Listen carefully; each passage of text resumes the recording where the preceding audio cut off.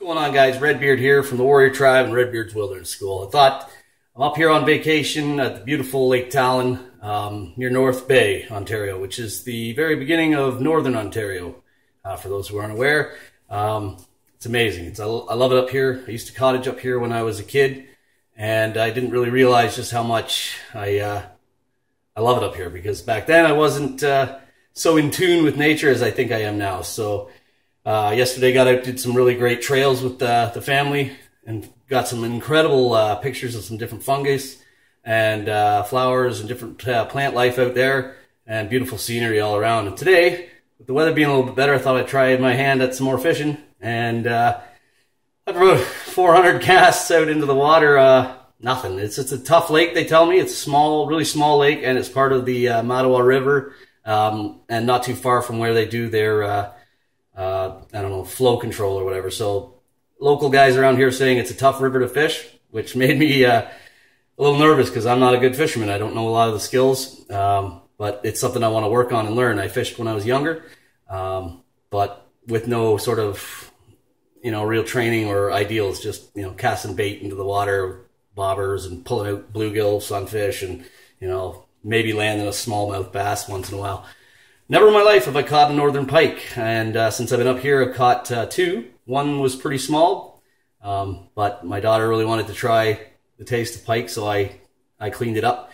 And uh, with today's catch being a little bit bigger, uh, three and a half pounds, I thought it'd be a good opportunity to do a little video on how to deconstruct a round fish. Uh, this one being northern pike. Uh, pike is a large family of fish, um, ranging from uh, I believe, perch, pickerel, pike, muskellunge or muskie. Uh, it's a fairly large family of fish. Uh, this one here didn't put up a very good fight at all to me. Uh, threw my line out with a, a, daredevil on it, and he bit it right away after I switched lures, and I just reeled him right in. He put more of a fight up in the net, but uh, it was uh, it was good. Anyways, without uh, rambling on too much more, show you how to break down a fish the way I know how. I'm sure uh, you avid fishermen out there have uh, a lot more technique and uh, perhaps uh, some tricks and tips that uh, I could learn myself. But uh, as a as a chef, with the chef, chef training I have, breaking down a round fish is basically the same throughout all the, the fish family in, in the round fish family. Flatfish from the ocean are a totally different animal. But with this, I'll show you how I do it. And I know muskie, a lot of bones, or sorry, pike, a lot of bones, but uh, you know, I'll do my best to get around there and see if I can pull out some nice fillets. I'm going to uh, scale this as well uh, rather than uh, skin it. Um, I don't have the proper knife to do a skinning, and I like the taste of skin. So I'll get the scales off, and we can eat that. Anyways, stay tuned, and we'll uh, we'll show you how it's done. So as I said, guys, I'm a, a, chef, not a not a fisherman. So I don't have the proper uh, filleting knives uh, that you might all carry in your tackle boxes. In fact, all I have is a, a fishing pole and a few lures. Um, so I'm more comfortable with my chef tools. So I've got a rigid boning knife, which is like a fillet knife, but this one doesn't have much flex, so not really good for foot uh, skinning. And I have my very sharp 8-inch uh, Japanese chef knife. I'll use those two tools to deconstruct this fish. So what I want to do is I want to start by eviscerating and removing the, uh, the guts. Okay, so I'm just going to start right up here, making a slight incision into the skin. And just zipping that open right down to his bottom. He's slippery, so I use some paper towel, makes it stable.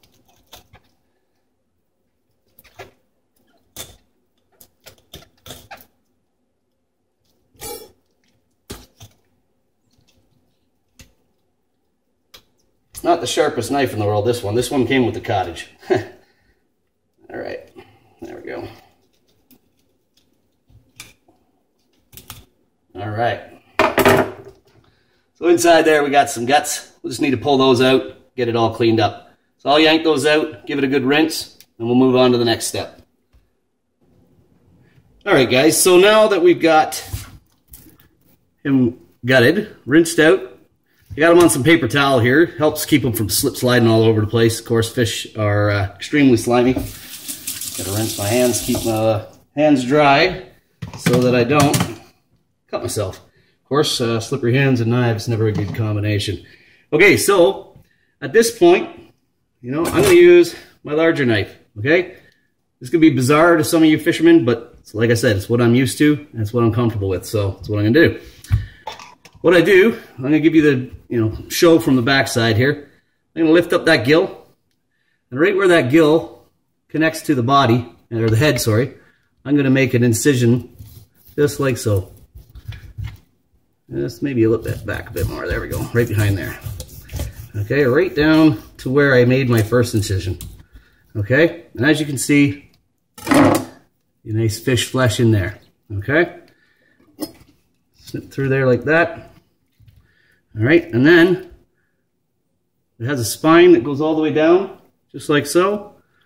Halfway, I'm to find that point right about there, and I'm to make an incision.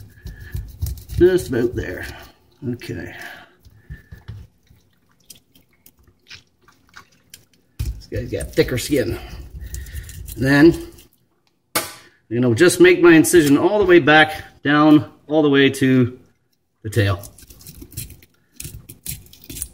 Just, just enough to break the skin. I'm not really getting into the meat yet.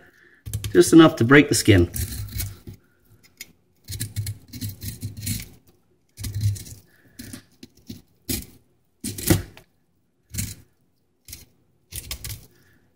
All right.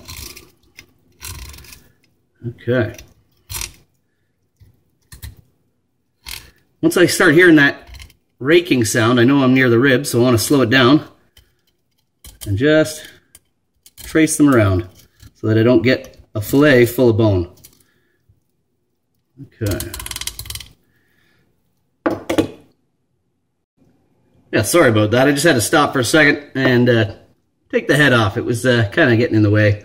Anyway, so I'm going to continue on taking this fillet down this the uh, the rib bones and right off of the fish, okay? And then I will flip it, do the other side. All right, so we've taken, I've taken the one uh, fillet right off, okay? Came out nice, nice size. I need to trim it down. We still have the belly fat, dorsal fins and things like that to uh, remove.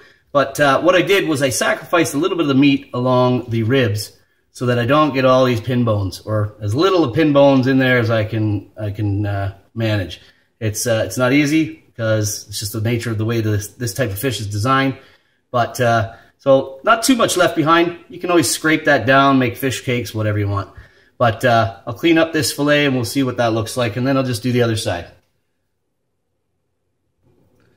All right, and that's it. So I just took the uh, knife, cleaned off the belly there, and just trimmed off the little bit of the tail, bit of the undesirable parts up top here, and uh, Unlike salmon and other softer uh, fatty fish, uh, the pin bones are a little bit difficult to remove. So we'll leave them in and have to deal with uh, the few that there are. But yeah, nice, decent filet. Certainly enough for uh, one person with other food, you know, and then I'll take the other side off.